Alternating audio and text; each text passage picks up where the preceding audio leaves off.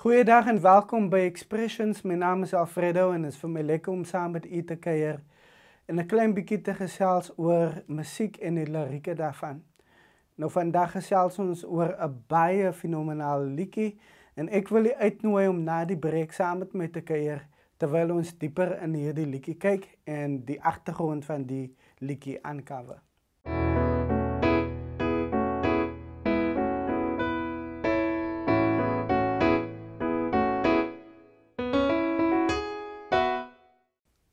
Welkom terug. Nou vandag gesels ons oor 'n baie besondere liedjie. En uh, dit is 'n gospel liedjie nie, dis 'n sekulêre liedjie. En die liedjie se naam is Another Day in Paradise. Um beter bekend as Think Twice. En die liedjie word gedoen deur Phil Collins. Nou om 'n klein bietjie agtergrond te gee van die liedjie. Um Phil Collins het hierdie liedjie in 1989 opgeneem. Um dis so 'n paar jaar na my geboorte, so ek gee my ouderdom nou weg. Um maar hy het hierdie album as solo artist uh, gelaunch en gerekord en dit genoem But Seriously. Um die liedjie het baie goed gedoen op die music charts. Um en ook verskeie toekenninge gekry. In uh, 1990 was dit uh, benoem as die uh, single of the year by die British Awards. En hy hy dit dan ook gewen. Um in 1991 um was dit genomineer vir Record of the Year by die Grammy Awards.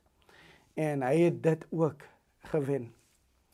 Um Another Day in Paradise het 'n baie unieke uh, record of achievement in 1989 um aan die einde van 1989 was dit die nommer 1 um single of enkelsnit um uh, en die laaste enkelsnit vir 1989 en en die, die dekade van die 80s. In 1990 was dit nog steeds nommer 1 gewees. Uh so dit het dus die 90s ook begin.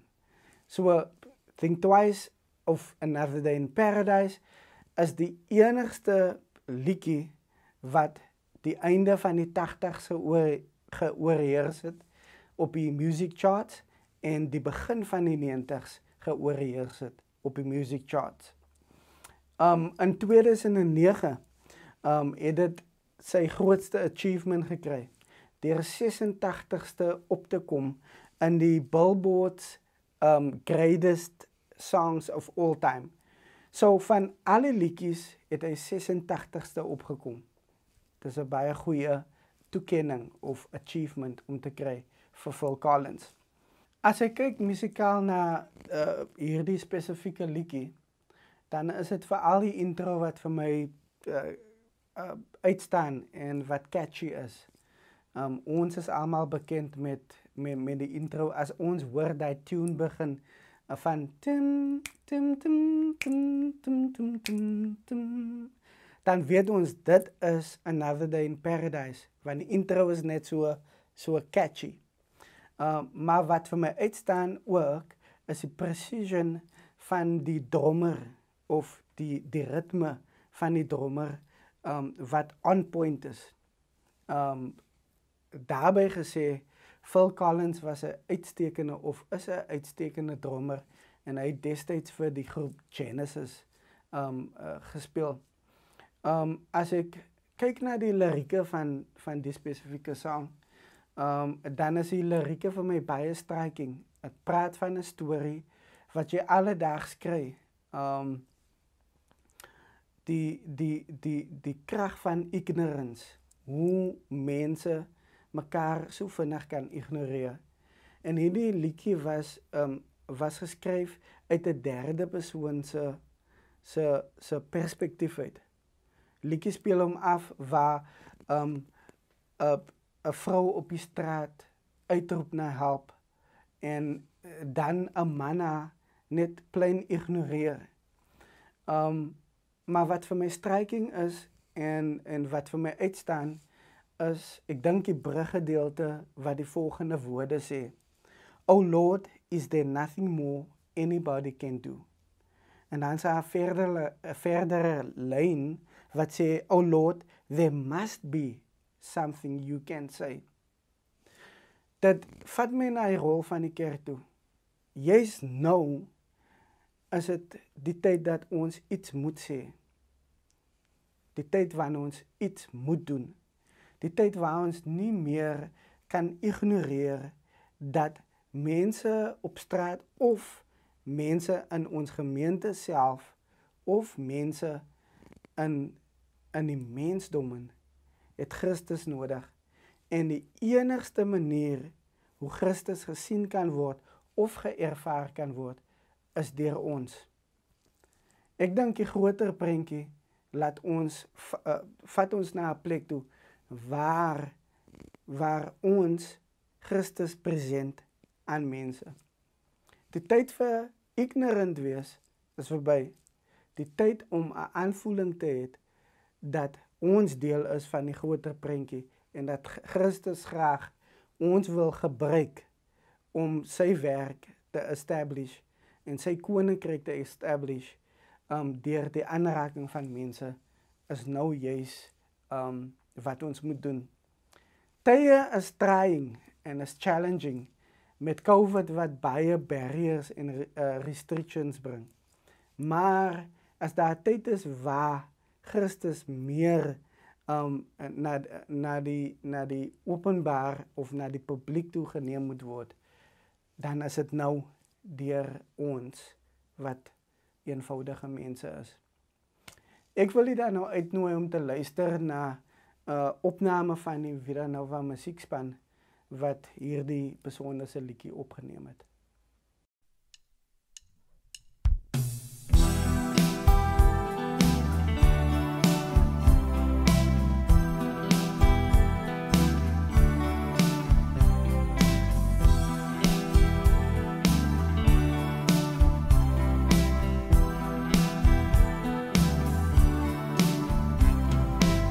She calls out to the man on the street. Sir,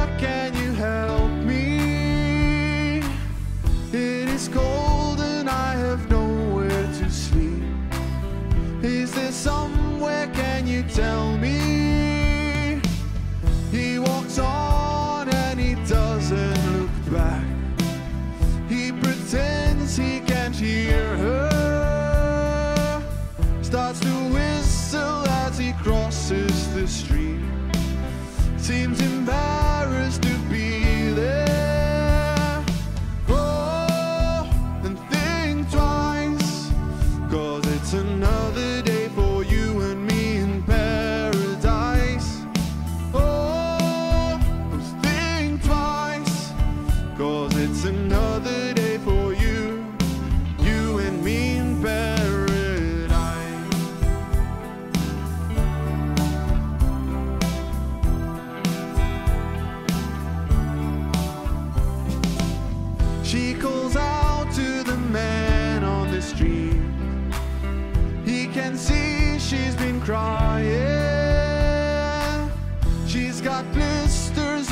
soles of her feet. She can't walk, but she's trying.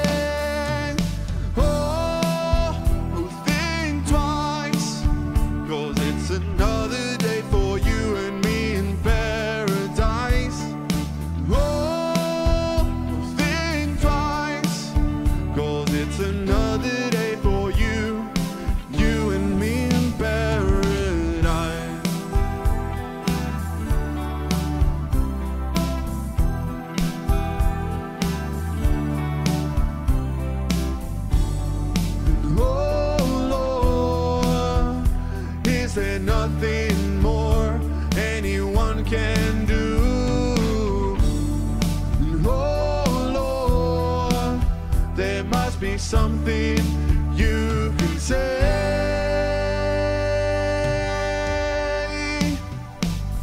You can tell from the lines on her face. You can see that she's been there. Probably been moving on from every place. cause she didn't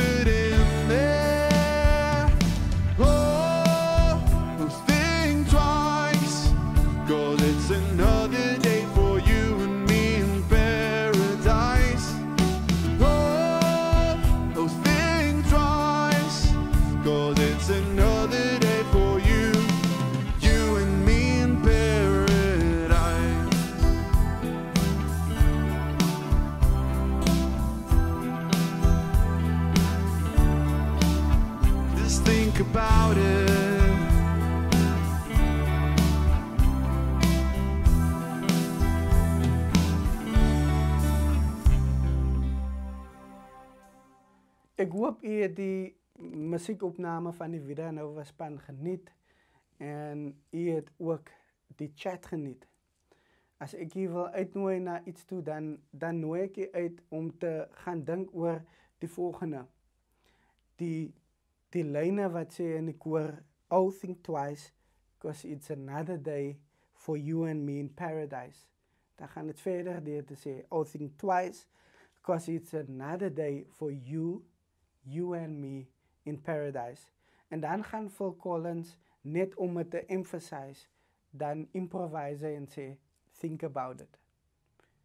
Ek wil u graag uitnooi om te gaan dink daaroor. Wat is die rol in in die koninkryk van Christus? Tot 'n volgende keer. Christus groete.